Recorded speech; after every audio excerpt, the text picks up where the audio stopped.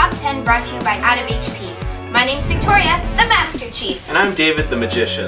Now today we'll be talking about free things, because really, who doesn't love free things? I love free things. I don't love anything. Really? Do you even love free hugs? I don't know. I don't love free. Uh, today we're bringing you the top 10 games that don't cost you anything to play.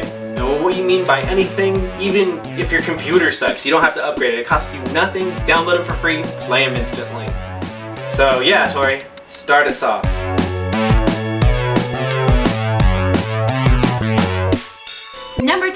Triple Town. Now the entire Out of HP staff is addicted to this game. The only downside is that you have to play it through Facebook, but really, who cares? Everybody's on Facebook anyways. What's great is it's easy to learn, but difficult to master.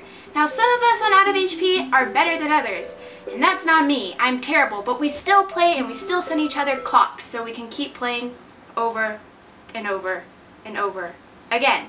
So the premise is simple. You have bushes that make trees, trees that make houses, graveyards by killing bears equal churches.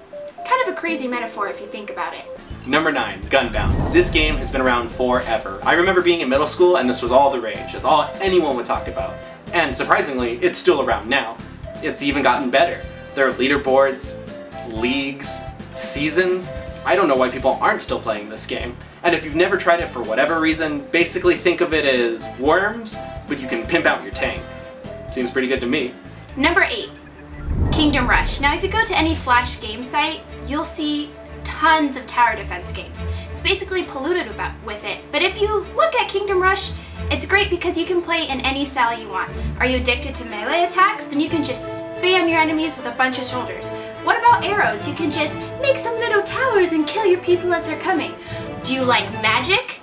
Well then, you can just flame the people as they come. It's so satisfying. You just have to play it. Number 7, Free Civ. Now this game is great. You get a lot out of it. You have micromanaging skills, an epic scale, even a history lesson.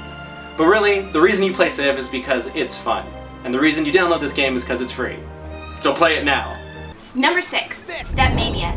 Now, who doesn't love DDR? Everybody loves DDR. But if you're kind of slow on your feet and a little hesitant, everybody can be good with their fingers. Not an innuendo. And it's open source. So there's so many songs from all around the world, different cultural songs, whatever, even popular songs that people have made Step Mania rhythms to. Number 5. Urban Terror. Urban Terror is a Counter-Strike clone, but it's completely free to play. The great thing about it is not only do you get all the best parts of Counter-Strike, capture the flag, deathmatch, and any other team-based modes, it's a lot more forgiving than Counter-Strike. You don't get headshot way across the map, and it's actually pretty fast-paced, and it looks like shit, meaning your microwave could run it. Number 4. Plants vs. Zombies. I think you're a hick who happens to have a college degree in herbiculture. I made that up, but you have a front lawn and zombie attacks are happening. You happen to be really good at gardening and building plants that attack zombies. The premise is genius, and I guarantee you won't be able to stop playing. Number 3. Battle for Westnoth. Now when you think of free games, there's a bit of a tendency to think that these games are, well, janky. They may be half finished and you kind of get what you pay for in a sense. Battle for Westnoth is nothing like that. This game is extremely polished, well balanced, and you can see how much time and effort has been put into every aspect. It's pretty deep. The best part about it is you're going to be playing it for a long time. It gets pretty difficult. Not insurmountable, but it's definitely going to take up a lot of your time. Number 2. Realm of the Mad God. Now, if you love dungeon crawler a la Diablo style, you will love this game. What's great is it's completely browser-based, so you don't need an awesome computer to play it. And it's an 8-bit style, which is really nice and nostalgic and we all love it. It's like an RPG meets a shoot 'em up style. Kind of interesting mix. Check it out. Now before we get to our number one, we're going to talk to you about honorable mentions. Now the reason why they're honorable mentions is because they're quite not good enough to be on our list, but they're worth mentioning. So for my honorable mention, I'm going to go with NetHack. It's a really good game. The only reason it's not on the list is because it's hard. It's just a huge learning curve and it may not be for everyone. It's a very traditional RPG, but if that appeals to you at all, by all means try it. It's a lot of fun. My honorable mention is David's mom. It's pretty free.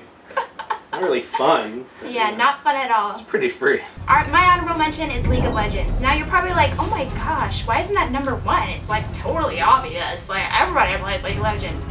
Well, not everybody. And it may be free to play, but the community is terrible. So awful. And then on top of it, you have like 40 characters to learn how to play, so you kind of just stick to one. I feel like for that reason, it does not count as our number one. Number one, I want to be the guy. What I like about this game the most is that it's just a constant reminder of the 8-bit era. Every single screen of this game is a reference to another.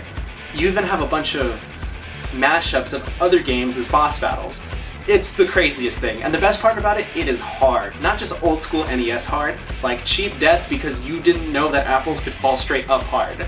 And while that sounds frustrating, it's actually pretty hilarious. The reason you play this game is because you love 8-bit stuff, you love it being hard, you love it being fast. I think we're talking about something else now. But I Want to Be the Guy is the number one game that doesn't cost you a thing.